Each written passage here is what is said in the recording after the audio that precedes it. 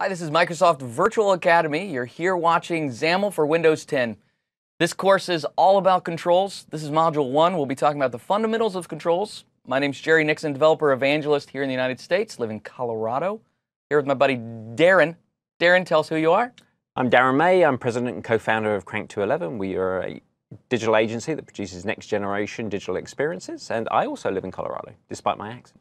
Despite your accent, that's exactly right. Crank 211, mm-hmm. the finest digital experience maker that I own. That you own.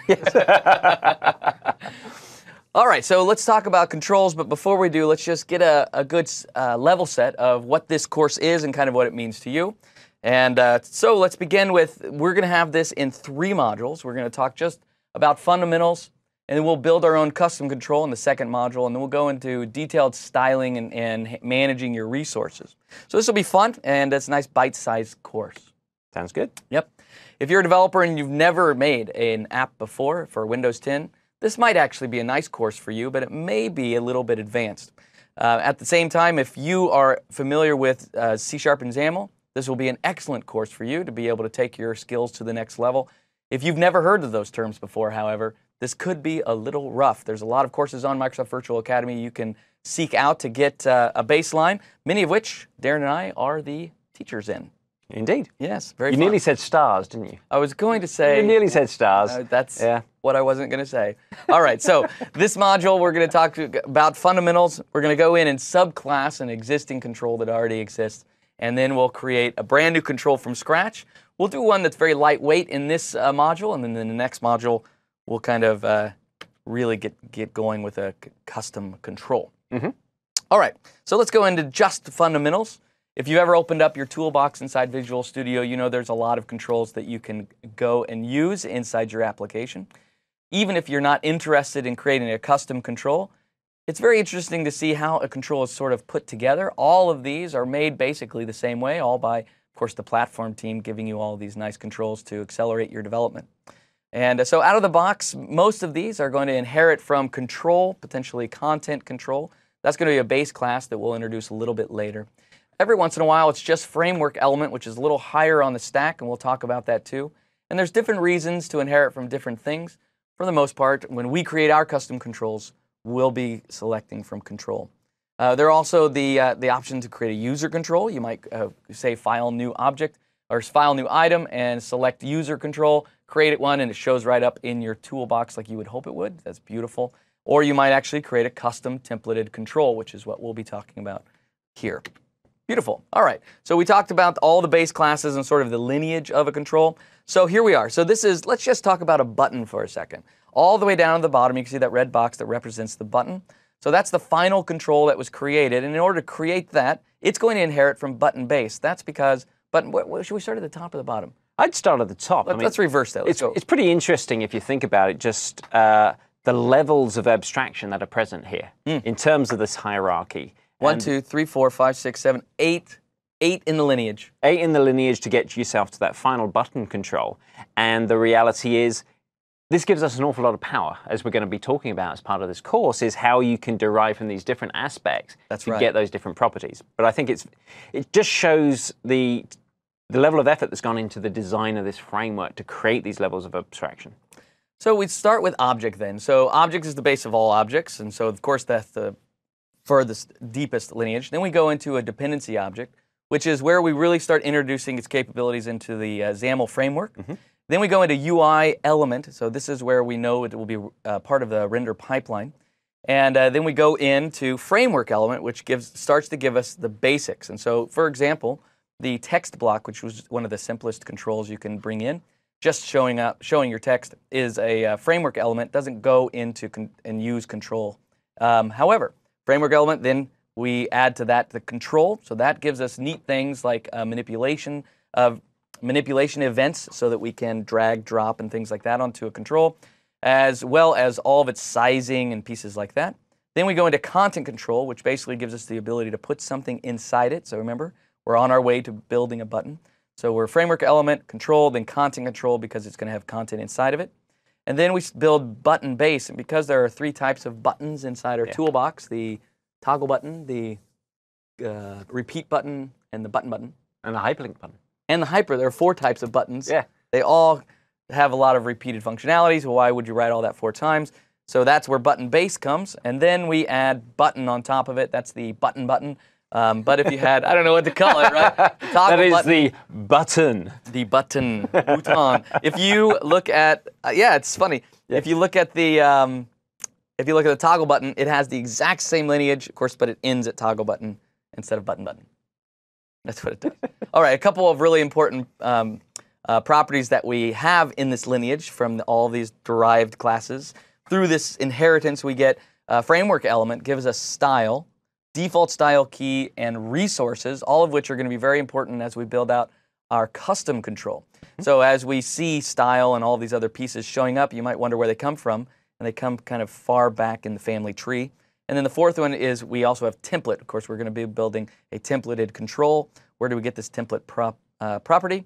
We get it from control itself. So that's beautiful. Those four aren't the only thing we really care about, but those are the four core ones, and that's kind of how they all come into a button.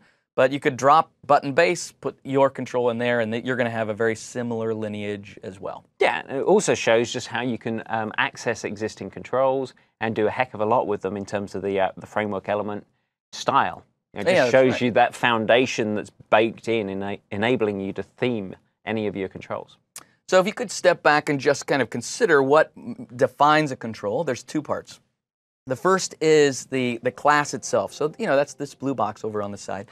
And uh, we get all of our out of the box um, implementations um, all inside a WinMD. That's a Windows metadata file that uh, brings in all of the stuff that the platform team has created for us, including the button.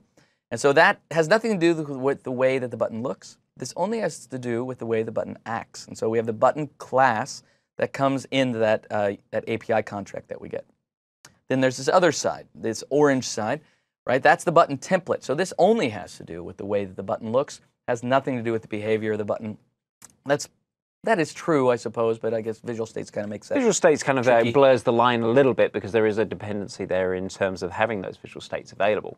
But I think you know the key thing that we're talking about here is it's that abstraction Mm-hmm. that uh, you define a behavior and then you define one type of look, but it allows you to retemplate that and create many different looks. Yep, that's exactly behavior. right. And so out of the box, you get this. Uh, you get the button class inside the WinMD, but then you get uh, the template inside. It's packaged for you inside uh, generic XAML. It's a file that's intended just for this. It's all uh, compiled up for you inside the PRI. Yes, indeed. The Package, package- resource index. Yes, it's all all compiled up for you, so it's nice and efficient. And why would you separate it like this? Because wouldn't it be great if you could keep all the functionality of a button, but re-template it so that it looked perfect for your application without having to rewrite all of its functionality? That's the reason they're separated like this. So we can define the way it looks on one side, we can define the way it acts on another, and we can swap those and make them uh, so we don't have to rewrite the. So we Button. could make our button look like a gel button. Because I think every tutorial ever when this happens. Or happened a was a gel button. Let's retemplate it to a circle. Exactly. Ah, lovely. That's great. We might do a circle to, just for fun, just to show we can do it. Um, I don't want to do that. No. anyway, those so are the five years ago, Jerry. Every control. We're talking about a button here, but that's this is true with every templated control, and it's like that, so you can retemplate it. All right, so that's beautiful. All right, so let's consider what makes up a what makes up your your control when it's in memory. And so let's start with over on the top right here. This is we're going to add a button to a grid. We call that the logical tree. And so this is how your XAML is actually written. In this case, there are only two things, right? There's the grid, and then there's the button. And so you would expect for those to be the two objects in memory, but that's not right because a button is actually a complex object that requires many things to be in memory. So if you take the button and you go over to what it looks like in the visual tree on the left, we see the button, but then we see new things coming under it. So we, now we see there's a grid to make a button, and that grid contains a content presenter. And inside that content presenter is a text block. And so you'll remember that button has a content property. Of course, you could add your own content here and make your own visual tree, but out of the box, you can see that there's more to a control than just what you see in the XAML. The XAML is just representing um, the control a- itself, yeah, it's not, not what's going to be in memory. right. There you go. There you go. thousand words a minute, and then zero. Uh, that's what happens when you outpace your brain. Right. One interesting point I'll just say is the content presenter, which is used inside any control template to bring in the content. That is special in two ways. Um, one, it gives you a couple of properties like transitions that are really nice, but more importantly, it will handle the reparenting of an element for you. So inside that button, you might just put text, but you might actually put your own grid and some uh, other thing you want it to look like. In order for that to work properly in XAML, it has to be, every element has to have a parent inside the overall tree. Mm-hmm. The content presenter handles that for you and reparents it for you, which also means there's going to be a limitation that if you have two content presenters inside your template, you're going to get an error because you can't temp- you can't parent something two times. Absolutely. Uh, in order to see um, the visual tree conveniently, Visual Studio has given us the visual tree uh, Viewer. viewer. oh, you see things with a viewer. Yeah, that- I think that's the technical term, Jerry. I'm not sure. All right. Well, let's let's uh, switch over to your machine. I Yep. know that you've got it running. Give us just kind of a feel for how that looks and show Sure. us. Sure. So, first and foremost, we've got a little bit of a more complex scenario here rather than the grid and the button. But, what, but when you look at the XAML, it actually seems pretty simple. It seems pretty simple and Seven lines. straightforward. We've got a list view. Inside the list view, inside its default content, Mm-hmm. we have a list view header item and we have four list view items. So let's quickly run this up. Of course, a list view is our repeater, so Yep. it's, uh, we'll build that out for us. So we, we end up seeing the, uh, the best UI ever. Nice. It is one of the better I've seen you do. Uh, It is, it is. And so here is the live visual tree. And so what we have over here is the Now, ability. wait a minute. Uh, so the live visual tree you pulled over, and if anybody's looking for it and they can't find it, it might be because you're not debugging. It appears Yes. when you debug. Yes, that's the live part of this, that you actually have to have the app running. You have a special mode you can select, which allows you to select elements within a running application. So I'm going to choose that. I'm going to bring up my application. And now we get this red outlining. And this is created for us in this particular mode so we can select items. So for example, I'm going to home in on this particular text element. If I click on this, our live visual tree navigates to that item. And as we can see, there is a vast difference in this uh, Yeah. memory view of what we actually have as opposed to how we declared the XAML. We can see that the text block is actually injected into a list view item presenter, which is contained within a list view item, which is in an items stack panel, which is then inside the items presenter, which is inside a scroll content presenter, and so on and so forth and so forth until we go up the list view. Now, we're going to touch on items controls in a later module where we're going to go into more detail around many of these elements and so on and so forth. But what you can see is XAML is, its power is in how succinctly it's been able to express this UI. And this is what's happening in runtime to actually build out a render, what Yeah. is in reality quite a complex control. Yeah, and as a control developer, um, you may or you may not uh, be aware of all these intricacies, right? Sometimes you're so deep in the template, you understand every single piece that's needed in order to make your application or your control look just right. Sometimes you just accept it as well, right? You get that content presenter and it's thrown in there for you and it's good to go.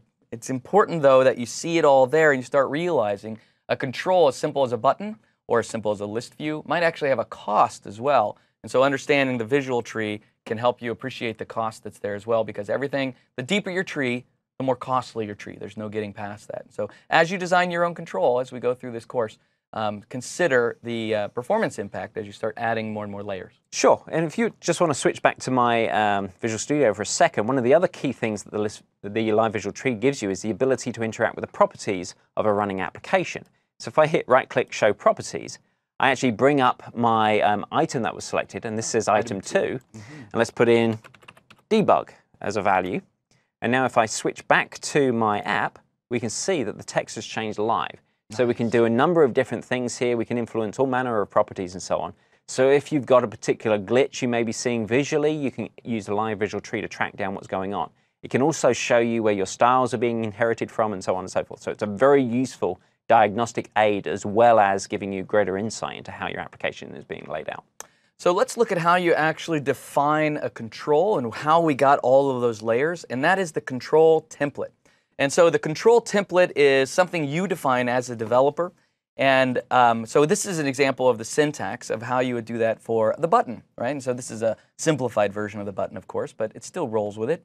And uh, so I have a control template object, And you can see I've targeted specifically for the button. Every control template has to be targeted for the type of control that it's going to be templating. And uh, we set this in a lot of different ways in how you apply a template. And so we'll talk about that in just a little bit. But then you can see there's that grid, and then inside it is the content presenter. And then the content presenter itself is bound to the control, to the content property of the button. So remember, now we're no longer in a button because there's no such thing as a button. What we're in is a grid, and that grid has a content presenter going back to the implementation of a class called button. And so it has a property called content that we're using template binding, which sort of brings up an interesting uh, discussion point here of how to bind inside a content template. So we as developers know there are three ways to bind inside XAML. Uh, the first one, of course, is using, um, I guess, classic binding, Yep. using the binding Classic. syntax. Still nothing wrong with that. I still use it all the time. Um, then there's this idea of template binding, which we just showed. And then there's also uh, Xbind, which we introduced here in Windows 10. So let's talk about which one you would use in content template and why each of these exists. Uh, the first one is binding. Would you use this inside a template? Of course you would, because it does all kinds of things. It is the most flexible binding solution available. It is the most. That's exactly right. And in this particular example, you can see its relative source is set to the templated parent, which means um, if it was inside that grid or whatever, it would be referencing back to the button implementation. So that's great, right? I'm reading from the content path. In fact, if I were to go down and see the second one, template, uh, template binding, its path is also content. Both of those are identical in that they're both reading from the content property. Which one would you choose from, though? Well, there's only one difference between them. Um, that is that mode equals two-way is set for binding. That allows if it's written then inside I, this unusual scenario, but Yes. if it were to be written into the uh, and updated somehow by the presenter, it would also update the button implementation as well because it's two-way binding, not just reading from the button but also writing back to the button. Template binding doesn't do that, and 99% of the scenarios where you're binding back to a control, you're really wanting to flow that control into the UI anyway. So two-way is not a big deal. So then you might be thinking, okay, so I can use template binding instead of binding. Fine. There will be times when that two-way is important. When it's not, though, template binding is the right choice, and you might be wondering why. So then we can go into Xbind, which we know is the most performant way to data bind inside XAML because it's all precompiled. There is no Xbind inside a template, however. That's on purpose. That's because Xbind requires an underlying class, and there's no way to define the underlying class inside a content template. So even though you may be tempted to uh, kind of dabble with Xbind inside your template, it simply won't work. So there's no reason to do that. Yeah, don't do it. But um, so why is template binding there? Why is Xbind not there? Part of the reason is because template binding is so efficient that Xbind might not give you the gain that you even need for the extra work to be able to have an underlying class and assign the data type to it. So that's pretty awesome. So now you're picking between two, template binding and binding. When do you use template binding? Almost all the time because it's extremely efficient. When do you use binding? Maybe only when you need two-way binding. Exactly. You know, the reality is it's a much more efficient mechanism. We've talked previously about how so much of the drive in XAML for Windows 10 has been around efficiency mm-hmm. and bringing in that extra speed and performance across everything. Generally, where we've got these types of templates, there's going to be multiple instances of these things, Yeah. and you want them to run as quickly as you can. So the default is going to be template binding unless you can't use your particular scenario and then In the demo we'll have in the next module where you're going to be using a checkbox. And there's an example of two-way, right? Mm-hmm. But every other binding in the template is going to be using template binding. So Yep. pretty nice. All right, so let's talk about where then these templates exist. So um, there's a folder called themes, and there's a file called generic. And that's where it all exists. And uh, it will all be compiled for you. But before it is, um, it all exists in generic.xaml, and that's where all the default styles for every um, control in your toolbox. So you drag in a button, and it has a default look to it, which font it's going to use, default size that it's going to have, maybe a background color. All of that is set up in generic XAML. Then we have default, default templates. How what, what how many grids are in a button to make it work? All of that's actually defined already inside its default template that's located in generic XAML. And then things get applied in that order. So we start by applying generic XAML, and if there's anything that needs to override that, it'll be in your application. Anything that needs to override that, it'll be in your page. Anything that needs to override that will be in the control, and so on. We're just constraining the scope all the way down. It could actually be more steps than that, of course. Yeah. Um, all right, then um, it's important to note all this is automatic. You get generic.xaml for free. Yep. And uh, as we start creating uh, sample controls, you'll see all of a sudden there's a generic.xaml. But it might be fun to look at generic XAML. So this is the path where you would find generic your generic XAML if you have installed Visual Studio.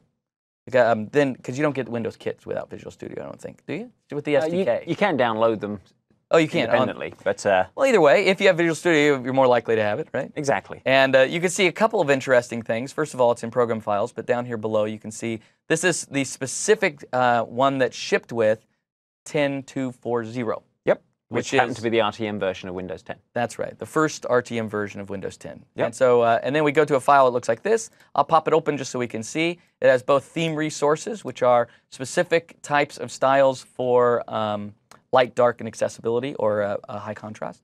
And then generic is where all the definitions are. So I'll open up Visual Studio Code. You're so cool, Jerry. Ah, that's such a. I mean, that's the new toy of the day. Uh-huh. And uh, and so now, I mean, it's a gigantic file, right? If I were to scroll all the way through, you'll see that it takes about a day and a half to get all the way through. So I would We will be asking questions on this later, so make sure you read it. That's right. Um, I would recommend that if you are going to create a um, a templated control, that you would look and see maybe how the button. So I just happened to get right to the button. That's awesome. That's incredible. And you could see how Like the was button was put together. And uh, so you can see it, it has its default uh, styles right here. So its default background, its default foreground, and so forth. And then it goes in and sets the property of template. Remember, we get that from control in our lineage. And uh, so inside the template, we set a control template that's targeting button, and then we build it out to look however we want, starting with a grid in this case, right? And so your so many control might be controls do start with grids. Many, most do, it seems Yeah. like, but yours may not. You know, it's really up to you. And I think it's actually in our sample, it starts with this stack panel. and then, so here they've defined all of their visual state groups, right? So this is because they're going to switch between things like pressed, unpressed, disabled, hover, things like that. And then here's the actual content of the control, has uh, a handful of properties, but you'll notice template binding all throughout. But this allows me to take whatever it is that you put in the button, retemplate it inside all of these controls inside its template, so, or reparent it, I mean, inside this template. So it's really, really nice. Actually, it's quite simple if you just think about the pieces. Yep. But uh, just to get it right, it's not a small amount of work. I mean, Yeah. you're gonna, you're gonna. The you're visual gonna- states is where a lot of your work comes in. yeah, thank goodness for visual states. So many developers don't play with them, but they don't they don't know what they're missing. They do not know. What the, look at this object, just like last time. Right? So this uh, the point I'm making here is object uh, animation using keyframes and this discrete object is uh, because it's not using visual state.setter. That if you extracted the template from the PRI today, it would it would look slightly different because it would use all the new setter syntax. Mhm. Yeah, but this is I mean it's going to be doing the same thing. This just gives you uh, what it was right before they re- refactored them all. I'm sure. Yeah. All right, so that's generic XAML. Remember, um, uh, usually developers never see this. It is hidden from you and it's injected into your application for you, um, eh, but you get all the benefits of it. It's applied first, and then all of your custom styles will override that if you if they do. All right. So, um, in fact, let me show extracting a template. Yeah, why I think not? that's going to be really really nice. All right, so I'll open up Visual Studio, and I have a simple button here. I've colored it red and it's got a, a save icon and a save text. So there it is, not, not a big deal. And uh, here's here's how you would be able to see what the template is that create that makes up this um, makes up this button. Remember, you could go to generic XAML and look at it there, or I could just right-click it in the designer. You can't do this in the editor. You have to do this in the designer, and say um, edit template. And then edit template, you could do three things here. I could edit the current template. So if I had a custom template already created, this would navigate me to it. I don't it's not going to allow you to edit generic.xaml, which is why that's grayed out right now. So now the only option is to edit a copy. Edit empty, that is for that that's for the Jedi Knights. That's if you want to say, hey, I need nothing. Yeah. I'm starting from the ground up, and I know everything I've got to put in there. yeah, that's exactly right. That's not either you or I. Talk about the opportunity to get things wrong. Yeah. All right, so I will uh, I will say edit a copy and it'll ask me. All right, really what it's saying is I'm about to pull this out of the PRI or the generic XAML that's hidden from you, and I'm going to put it in your application for you so you can edit it. Where do you want it to go? I'm going to call it button style one. That's fine with me. I can put it at the application level, which means it would go into app XAML, or I could put it into this document, which means it would go into page.resources, or I could put it immediately on this control, which means it was put into the button.resources. I think. Yeah. Yeah. I'll put it at the page resources just so things don't get ridiculous. And I'll say go. And you'll see tons of stuff. In fact, And let me- things got ridiculous. let me back up. It- It's a, it's a very small amount of code. Yeah, yeah. The code is small. It's easy to read as well. and it is um, and, and it's already applied. In fact, let me go back to the button and forget that for a second. Just look at the button again and see what's changed. So I'll just hit enter here. And so now the style of the button has changed so that it pulls from a static resource. That's a local resource in our application that uses this button style one, which is defined above. So this no longer pulls from generic XAML. Now it only pulls from button style one. Now, of course, there's some disadvantages with that in that we've now broken the inheritance chain from generic.xaml. So if in a revision, Yeah. some change to how the style for a button control actually is im- implemented in generic XAML, you're not going to get that automatically now. That's right. If there's some sort of error inside the template that it, it- just a small tweak will be fixed in version 10.1, then um, you won't get it. Yeah. Because you're using it. Right, exactly. And so that's worth knowing that every time you're revving your app, uh, if you have um, retemplated a control, it might pay just to pull out the template again from the, whatever the new version is and see if there are any changes to it. Yeah. It, so certainly a best practice that I've found is to clearly mark the changes you've made in a style or a retemplated control. Put comments in there and so on and so forth so you can quickly extract just those parts so that when you re, uh, redo the extraction, you can drop those back in and still have everything else in place. Pretty controversial saying that comments are a best practice. I know, wild and crazy. It's, you heard it here first. Comments. All right, so let's go and look at it. So uh, again, here's my button. It points to button style one. This is button style one that was just brought in. It set all these default properties, which are great because now I can go in and change those if I want to, Looks or leave them alone. uncannily similar to the generic.xaml you were just looking at. That's right. That's right. And then uh, here are all the uh, the uh, um, what is it? There's the control template itself being set. I don't know. Good grief! You throw me off, man. You throw me off. All right, no. Um, and these are the visual states, and I will just show you the slight difference between them. Not with that one, but I'll show you point over that. Oh, I take it all back. I take it all back. I pulled it right out, and it's still using the discrete object. Now that's not true in some, in like in checkbox and stuff that are all different. Have all been up, updated. All right, and so disregard everything I said earlier. I think most people do. All right, so here's the content presenter. So the important part here is this is now your opportunity to make some sort of change to it. So I could go inside this content presenter and I could add an ellipse.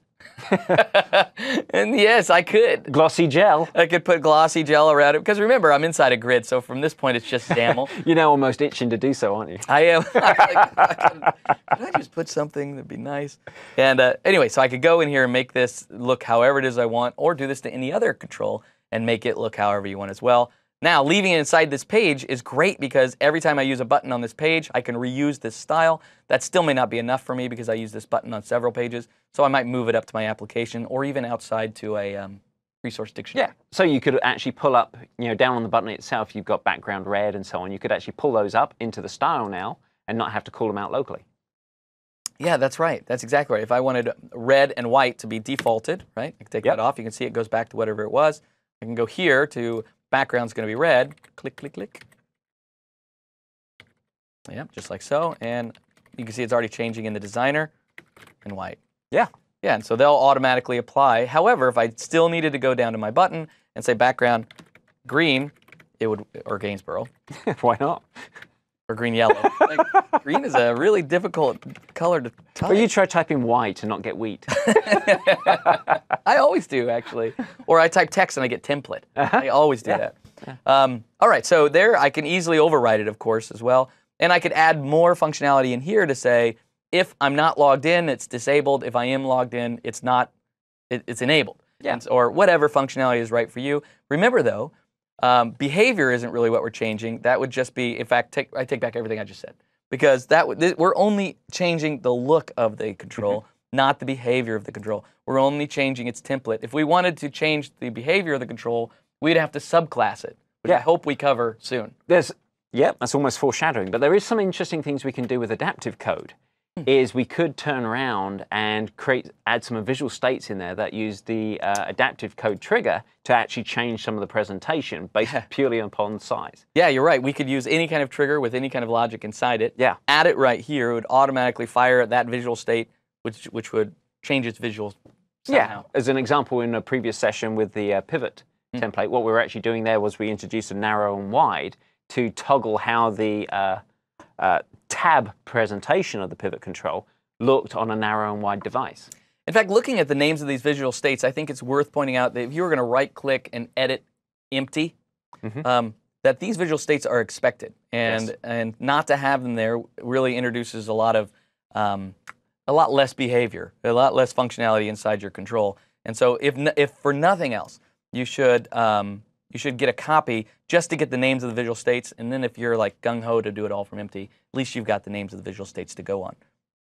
It'd be cool if there's a way to query for the visual states. Yes.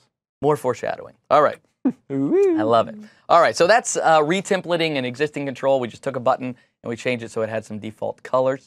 And uh, wouldn't it be great if we could subclass an existing control, change its behavior without changing the way that it looks? Ah, I'd really like to be able to do that, and this is the syntax to do it. It is ridiculously complex. it's like one, line. All right, so let's say you have my button, and this is the new button that you're about to control, create. And you're going to inherit from button, and of course, because this is just regular old C sharp, as soon as you inherit from button, you get all of its functionality, and you're done. That's it. Perfect. Now you've got my button declared as an element in your uh, XAML, and away you go. Yeah, that's exactly right. And so, in fact, let's go ahead and build it. Now, this is going to be there. It behooves the developer if they do this to do a couple of small things, and we'll do those together. All right. Uh, here I am inside Visual Studio. I am going to back up so I don't have a retemplate because I don't care about that right now. In fact, let me just one more time. Uh, there's a lot of things. How many changes did we make? All right, now we're back. All right, so we got a simple button. All that styling business is gone. And I'd like to add another button, but this time I'd like to add my custom button, which I'll add inside a quick, um, of course, create a place to put those, namespace for controls. And then inside that, all I really need is a class, which I'll call my button. Which is interesting because uh, you know most people think about creating some other type of uh, object when they're in there. That's right. Like they have to say find new control or something like Yes. that. And then remember, it needs to inherit from button. And there it is. It's inheriting from windows.ui.xaml.controls.button. So I get everything. And I will make this public because I'm about to create a control library that I'm going to sell for a fortune. Yeah, I, I can see the potential already. Inside the constructor, I will uh, let this constructor call the buttons constructor. And I will ensure one thing that the system doesn't know, and that will be the default style key. So the default style key is saying when I do run um, this and I apply a generic XAML to it, which of those styles should I apply to this? So you would think you would get button, but you actually don't get button because I've just created a new class. So all I have to say is type of button. And this is me saying to the subsystem, really, that's going on, that uh, when you're looking for a style to apply to this, please apply the button because I'm not changing the way that it looks. I'm only changing the way that it um, behaves. Nice. then from this point forward, I could add new events. I could add new properties. I could even add methods to this. I could make it so it ties into our login system to make sure that the user is or isn't uh, an administrator. I can do anything that I want. Meanwhile, the UI of the button all looks exactly the same. And I guess to make sure that you believe that, I will yeah. just add it to the People know you too well. Yeah. Little no, nothing to see here. All right, so now inside my toolbox, see up here, here's my button. The reason it's there is because I just built my project. Uh-huh. Doesn't show up. Sleight of hand? build. That was a sleight of hand. It was a sleight of two, fi- three fingers. Control Shift B, and so I'll drag this down. You'll see a couple of nice things. I got my namespace automatically created for me. Goes straight to app2 controls namespace, which matches the folder that I created. And there's the button right there. And you can see it looks like a standard Empty button. Standard empty button. Not, not much going on there. If I were to take all of the functionality of this, though, and just apply it to our button instead of that custom button, it looks just like a normal button. The reason is it's inheriting from the button, getting But at least now you can button. say it's your own. Now I can say it's my own. And if I really, I really wish that every time this was clicked, that it wrote, for example, a, um, a log entry or it had some sort Added of metric around it. Instrumentation. This would be an easy way to do it without having a whole bunch of stuff cluttering the rest of my application. That's really good use, actually. Yes. It's just kind of rolled in. Yeah. It's nice. It's so strange how th- these things happen. I know. Once the flow is in, you can't Exactly. help it. It's, it's adrenaline. And then the brain goes, "Ugh." yeah, exactly. Uh, what, what are we doing again? Yeah. All right. So w- the first thing we did is that we subclass. No, no. The first thing we did is we retemplated an existing control, leaving its behavior alone, but making it look different. The next thing we did is we re- we subclassed an existing control, leaving its look alone, but adding new behavior to it. Pretty simple. Pretty nice. Did you want to add some behavior to it, like a click event or something like that? Yeah. Let's go ahead and do that. Every time this button clicks, uh, we will make it. Uh, whoops. There we go. I'll make a, a box pop up. How Sounds about like that? plan. Uh, let's see. Uh, so I'll say a new message dialog, and then we'll put in hello, Daren. Oh. now I can see the potential for sale. Yeah, this is suddenly I've got I've narrowed my audience to one user. uh, let's see. I need to make this an async method. And I have pennies in my pocket. Oh, well, that's good. Free dinner. All right, so um, now every time that this button is clicked, of course, every time this button is put anywhere, that's what's going to happen. And uh, let me, in fact, let me back up. It's the perfect foundation for a library, I, I, tell you. It's going to be terrific. And so let me just change the outer here to a, a stack panel instead of a grid. Like that. All right, so now I can add a couple of them because it'll be far more fun if I can click a whole bunch of buttons. And say hello to me. Right. times. Let's see, right here. Copy, paste, paste, paste, paste, paste, paste, paste. Bam! That's what Stack Panel does. That's what Stack Panel does. All right, so Our work here is done. yeah, there's a lot of saving going on here. Save. Hello, Daren. Save again. Hello, Daren. I need a little coloring to really make this look better, I think. But it would have popped a little bit better, but you know, we're not designers. Hmm. yeah, exactly. Oh, I gotta close it with it. Save again. So of course, they all have the same functionality because they all have the same class behind them. Mm-hmm. They all have the same look because they all have the same template as well. Now, what's cool about it is I can use this anywhere inside my application, and I know I have this encapsulated functionality. Sounds good. Yeah, pretty neat stuff. Simple. Uh, we have. I mean, this we haven't gotten to the hard stuff yet. Yeah. But- Danny is sending a strong hint that you should be making your font larger. I keep, Danny, I keep doing that. Good. Put your freaking glasses on. All right, so I had, I had already seen it. Yeah, that's funny. All right, so back to uh, back to slides. So it really is true. We have this uh, subclassing as simple as that. All right, and uh, now creating a brand new control. This is the idea of creating a control from scratch. Yep. Um, there's a couple of ways to do that. The first would be, and seems to be the most obvious, but it might not be the way you end up going, and that is to create a button from control, right? And so we know that we, if we go back to our lineage, we go all the way up. Control gives us pretty much everything that we need, but it doesn't give us a lot of the functionality that's free that comes in other other uh, base classes, like content control that we'll talk about in just a second. But if you do go all the way up to control, now the developer must implement everything Yeah. every single thing. That includes the click event. It includes all the stuff you're going to do for accessibility. Everything that's there is going to be um, up to you. Um, but syntactically, it's about the same. Right? Just that to do is going to be a lot more full because there's a lot of for things to you to there. Right? Exactly. if you can actually base it on an existing control, you've gotten yourself a long way. You've, It makes a huge amount of sense to do so. Um, I mean, in, in the hamburger control, for example, uh, that was built as part of template 10, using the radio button as the uh, menu items shortcutted a huge amount of effort to be able to get that functionality. Yeah, without a doubt. Gave this, without a doubt, that's the truth. All right, so let's go back to Visual Studio. And for the sake of explaining this, I will, um, let me delete the, let me just comment out the button that we just created for you and delete the class and its whole implementation. That's how we things work. All right, so easy come, easy go, Daren. Uh, sorry. Uh, all right, so I'm inside. I want a refund. I'm inside controls and I'm going to say add new item. Now, um, I'm not going to say class like we just did because I'm not going to inherit. This is from scratch. I'm going to create a templated control, which is really where we're headed with all this. A templated control that you create that does something very different, very unique, very signature to the application that you uh, are creating. In this case, we're going to create a very unique uh, my button. Where did you get that name from? Well, I looked it up on MSDN as under best practices. all right, so when I add this, a couple of cool things happen. First of all, you're going to see my class show up under here, my button, just like you would expect. And look, the syntax really hasn't changed, except for it's nicely done, the default style key for me. Mm -hmm. That's really, really nice. In this case, it said that the style key is going to be based off of my button, not off of control. It's kind of putting it there so I can edit it if I need to. Yep. Um, but out of the box, it's going to apply um, only the one that's made for this class. But if you'll notice, there's also a new folder called themes.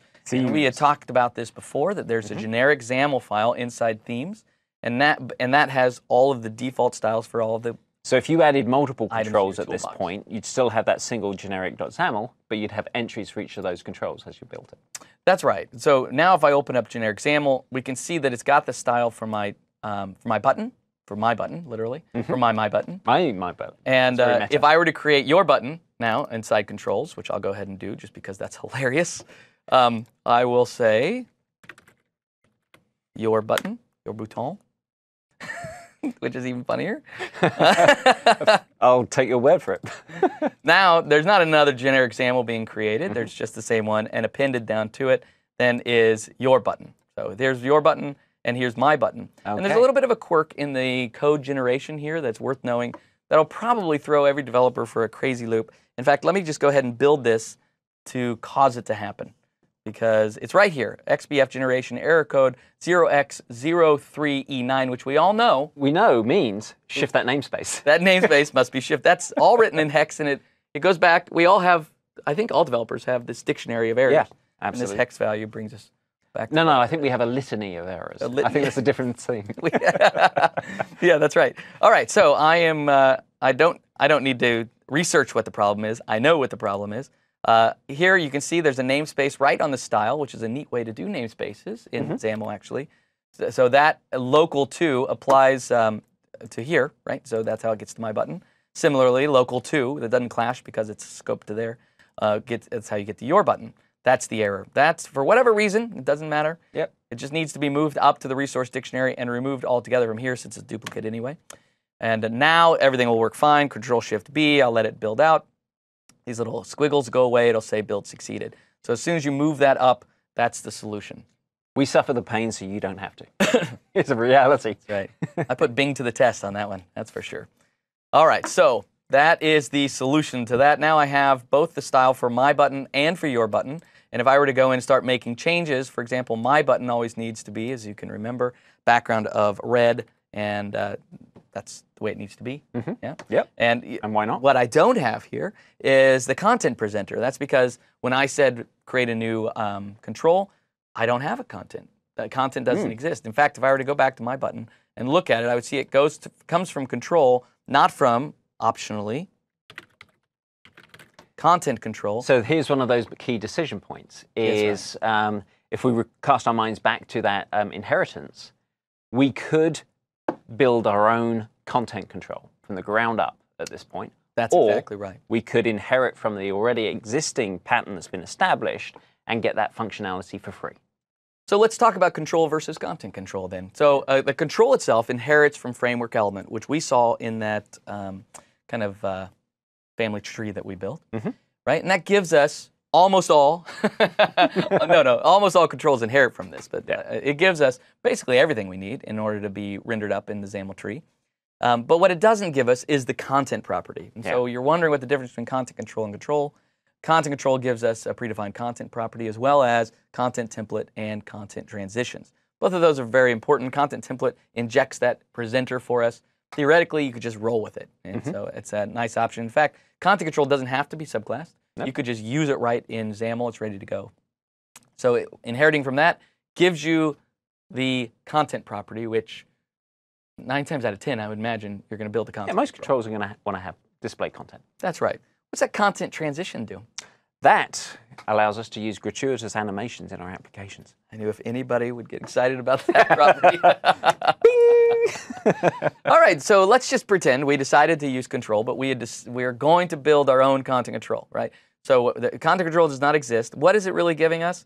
This is basically the way that it looks, right? And so we have a a um, an attribute, an attribute uh, that you put like on the class, there. right? That is the content property. And in this case, what's which property is it? The content. It's a property called content. So this is the way the content control works as well. And so down here you can see we've got uh, of type UI element, a property right here called content. This is where you would put in whatever uh, XAML you wanted inside your control. And then uh, you can see the definition down here because it's a dependency property. that uh, that's the reason we want it as a dependency property so we can use template binding later. And uh, anyway, so that's the definition. That's all we have to do, and then we would get it from there. Of course, there's more to do. We haven't done the templating, we haven't done transitions. All those things would have to be done manually as well. So we get that for free. But if you were going to build your own content control, at its heart, this is really what it's doing on the inside. Yeah. Yeah. So if uh, you feel like you simply cannot inherit from co- content control, and you wish you could, here's your solution. Yeah. And the great thing Take about a that screenshot of this slide. Exactly. And the great thing about that content property attribute is a lot of the reasons people don't want to use content control is they don't aren't aware that you can change what that default property is. Yeah. And so by using this attribute, if you need it to be something else, Yeah. it's very simple. like primary commands or something like that. Yeah. Content still is there, but then you don't have to use it exactly. exactly. That's the way the command bar works. It has a content control or content property, but it also has primary and secondary commands that work the same way. Primary is the default, I believe. Yep. Yeah. Yes. Yeah. All right. Beautiful. All right. So that's creating a templated control, but there is this other thing out there called the user control. And I think it's a worthwhile discussion to decide what you're going to choose. Sometimes a user control, sometimes a templated control. Why would you choose one instead of the other? Genuinely, um, there are reasons to pick both. Right? Yeah. Obviously, it exists for a purpose. I generally start, to be honest, with the user control first Yeah. because they're quicker to put together. Just from a uh, rapid application development scenario, throwing together a user control is a very quick way to prototype an idea. Yeah, it totally is. You have a full designer support right out of the box. You don't have to do anything tricky. And all of a sudden, you can drag things in and really compose um, a small fragment of, a, of XML that you're putting together, and you can and then encapsulate and repeat on pages. So it's really, really nice. You can have properties, events, everything that you can have on a templated control. Yep. So why would you possibly create a templated control? Well, a user control doesn't have a template. Yes, exactly. And so if you need to make a control that allows for developers or some other consumer to be able to take your control and make it look different, that's not a user control. Sometimes that's perfect, right? You're going to create a user control that's like um, a login control that shows how to, you know, shows what to log in, all the logic behind it. It's all encapsulated inside this one user control. Every page needs to have a login, let's say. So you just drag it on. Now all that functionality is there. You're good to go. Beautiful. That's a user control. You don't need it to look different as it goes to different pages. But if you're creating a button or if you're creating really anything else that you want to give the flexibility for developers to come in and make a difference or make a change, then the templated control is the right way. It is, we're saying there's a slight performance increase for a templated control because uh, all of generic XAML is going to be uh, compiled into your PRI. That'll be a little bit faster. That's not the reason you would pick one over the other. I don't think. You probably would think about it if you were using a initially using a user control within a data repeater. That uh, you had hundreds of instances being created and you weren't doing virtualization or something along those lines. You might want to consider it for that performance improvement. But the reality, as you were saying, is you're going to make your decisions based upon upon your uh, granularity of reuse. Yeah. If you're going to be reusing this thing within the scope of one application, a user control may be all that you need. And as we're saying, if uh, for newer developers, a user control is just easier, and so it's a great place to start as well. There's nothing wrong with the user control, but um, just know that in the end, you probably will um, graduate to a templated control sometime. Yes. And so uh, don't feel like the user control is the wrong choice. Or if you have a uh, open source project, other people may graduate your user controls for you. like in template 10. that's Yes. exactly in template 10, we have tons of controls that we've added, and because I am a, uh, a, a junior developer, I uh, created them all as user controls, and then conveniently, Allowed other people to graduate. other people graduated those for me. Yes. The matriculation of our controls. That's exactly right. Okay, so um, let's talk about just the things you do inside a templated control to make them work and things you need to consider. And it starts with the idea of custom properties. Of course, you're going to have properties on your control so you can interact with it, change the special color in this case, or maybe you want to uh, determine whether or not it's checked because it's some sort of checkbox like thing or, or anything else. This is the way you expose it, and doing it as a dependency property gives us a couple of benefits. The first, of course, is you get to data bind and animate. Those two things are, of course, important and the reason you're going to be using it. Uh, Two way data binding inside a control can only be done with dependency properties. And uh, so this, this question comes up frequently. Why isn't my data binding working in my user control or my templated control? That's because you're not using a dependency property. The other thing is uh, if you do it this way, all of a sudden your properties are exposed as uh, um, to the setter in the style. which Yes. is just an easy way for a developer to preset some things. So let's say you had special color and unspecial color, or regular color, right? And uh, you wanted to set those, but you wanted to preset those all up in your custom style in a resource dictionary you have somewhere. Um, then you can create a style, make, um, associate it then to your object as the target type is to whatever special control you've created. And then you say setter property equals, and you get this awesome IntelliSense that shows all the properties that you can set through that. And so this is another benefit of uh, making sure that dependency properties, not standard CLR properties, are what you're using. Yep. And uh, you know, a lot of people I think are somewhat intimidated by them because of the syntax. It looks very, very different from uh, regular properties. Of course, there are great code snippets out there that actually make them very easy to create. Like prop DP, yep, just go into Visual Studio, type prop DP tab tab, and you've got it.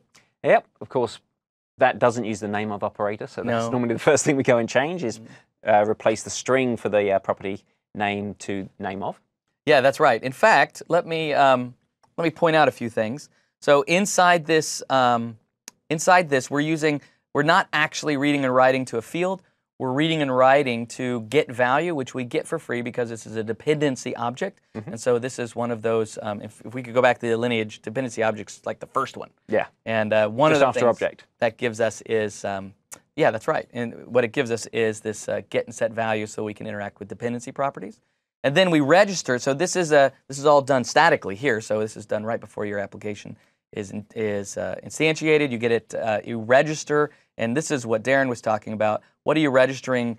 Uh, the, what are you associating? What property are you associating to? In this case, it's special color goes up to special color, and we're using name of because then we don't have literal strings. It's also worth pointing out that the dependency property by convention is called spe- the uh, variable name with property appended to it. That's right. So when you see special color and then this property right under it, right, that's just convention. You could Yes. name it, you know, puppy if you had to. That'd be a strange app, wouldn't it? That would be yes. Well, that's a dog calendar app. Oh, yeah. You know, Microsoft needs one of those. Um, then, uh, then you set up its type. That's only for setters. So, so the setter guarantees its type. When it returns, it's an object, and you get to recast it, which is terrific.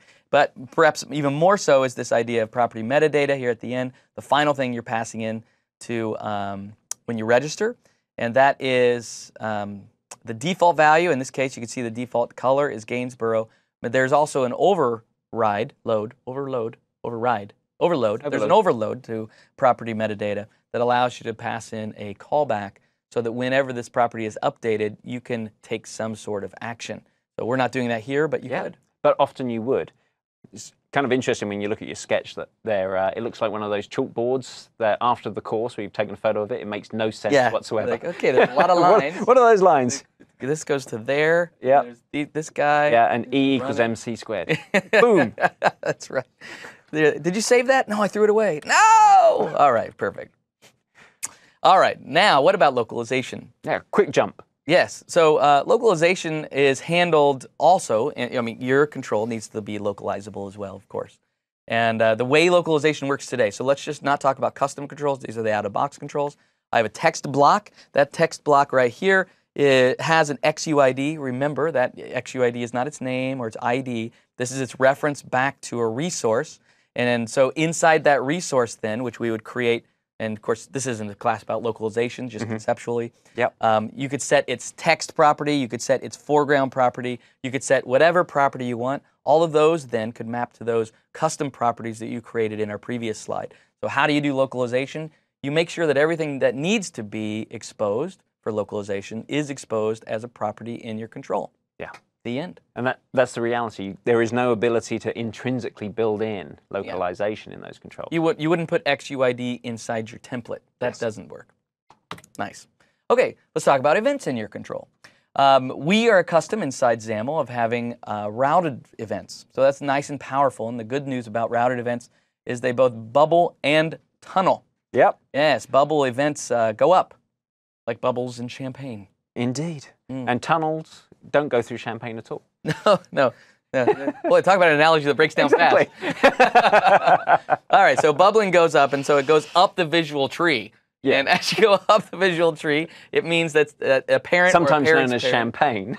they can uh, also handle or attach to those events, right? So that's really nice. You don't have to be in it. And um, that's a bubbling event. As it tunnels, it goes down through, and the children receive the same event as well. So that's what the good news. Awesome. The um, the, the news you should know is uh, you're, you not can't gonna, you're not going to create one like it.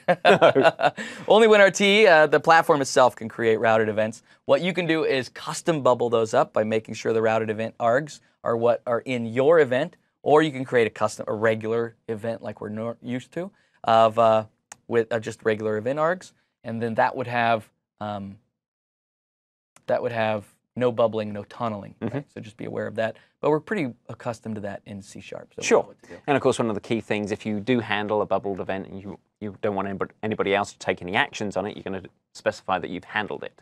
That's right.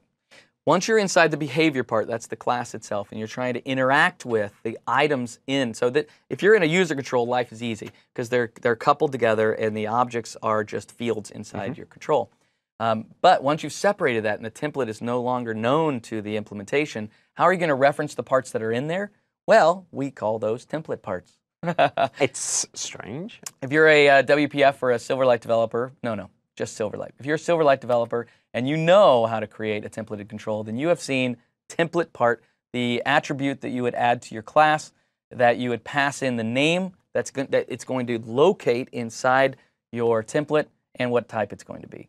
What's great about that is Blend then looks at that and ensures that when somebody uh, tries to restyle or retemplate a control, they do it correctly.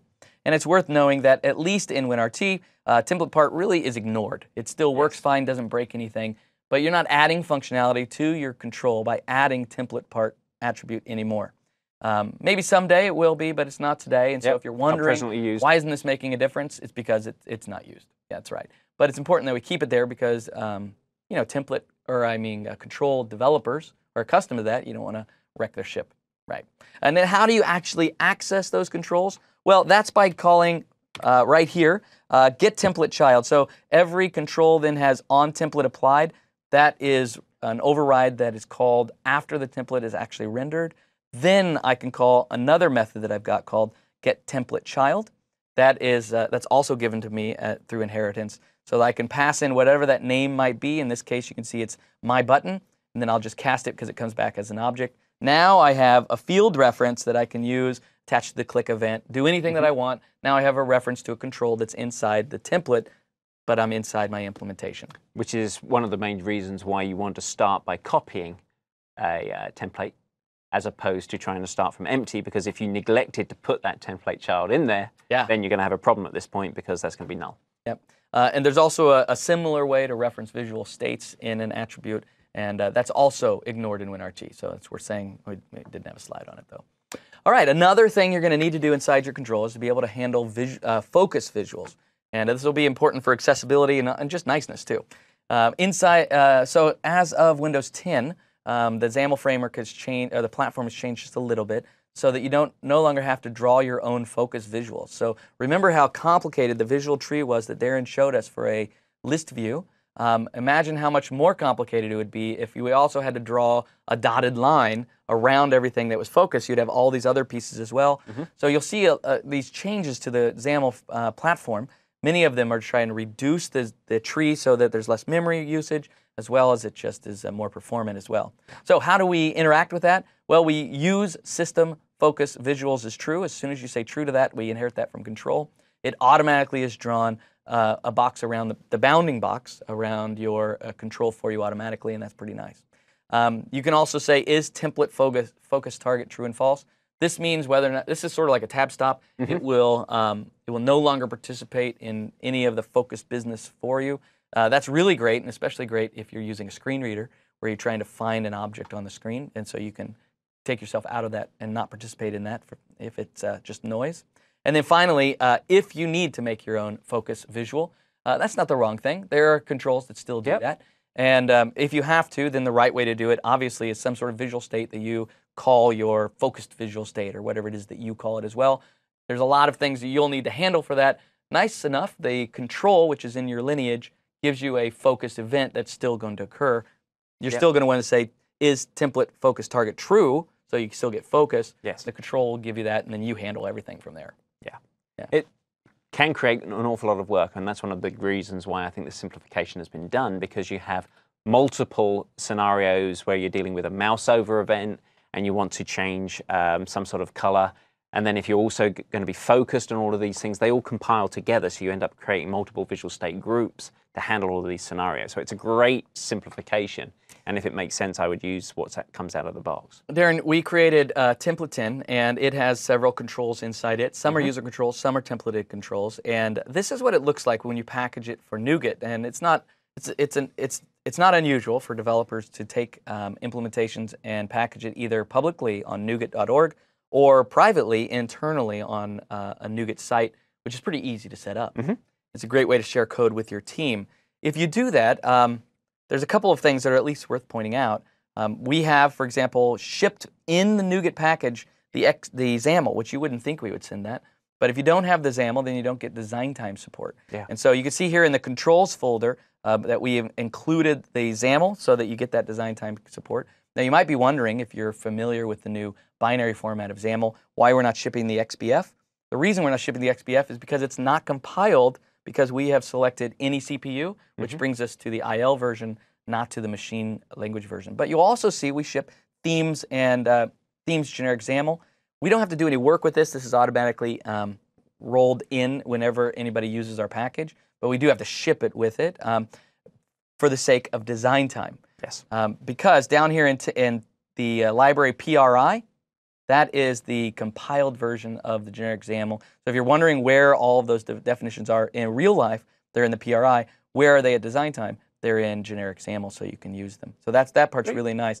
If you're packaging it up, you'll want to create these. In fact, I might just show real quick that if you have a library, I put a little fake library here that has nothing.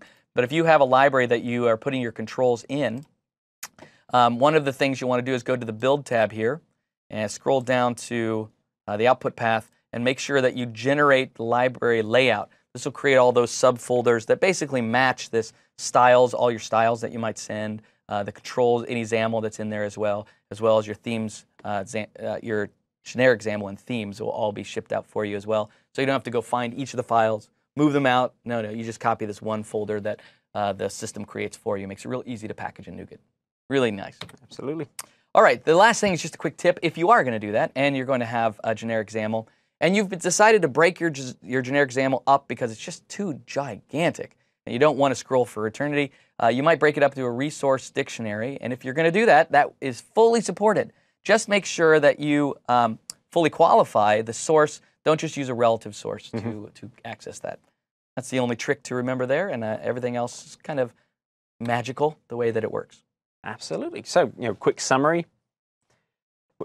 You reviewed control fundamentals. Mm you know, which really uh, gave a great deal of insight into how these controls are built up in a layered fashion. Yeah, that Talk, lineage. That lineage. We talked about subclassing an existing control, so how you can get a leg up in building your own custom control. That's right.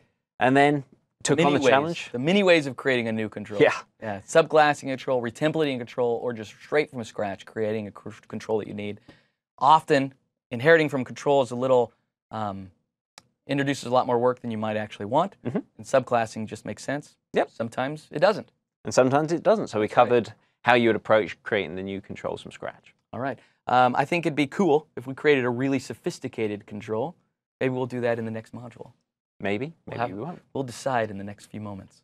See you again.